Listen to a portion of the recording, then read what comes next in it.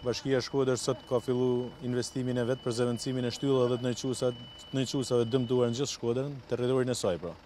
Siç shifet sot po bahet në rrugën e Shirokës, duke ditë randësinë e saj, masi përshkohet nga gjithë qytetarët e Shkodrës, Këtu te kjo rrugë janë dëmtuar 10 shtylla dhe 12 ndriçues, të cilat janë dëmtu nga shpejtësia e mjeteve që ecin jashtë normave të lejuara të qarkullimit rrugor.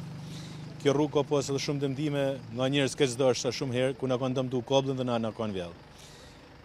Pra, si apel i jemi për qytetarët dhe për policinë e qarkullimit rrugor është që të kenë kujdes i fije dhe të paralajmërojnë mjetet e qarkullimit për punë shpejtësisë, pra se po na dëmtohen, po bëhet shumë e shpeshtë kjo rrugë dhe atëherë mesin shumë segmente të rrugës. pa ndriçim, edhe dihet mirë se ça ndikon kur ashtë terr edhe kur nuk ka ndriçim rruga.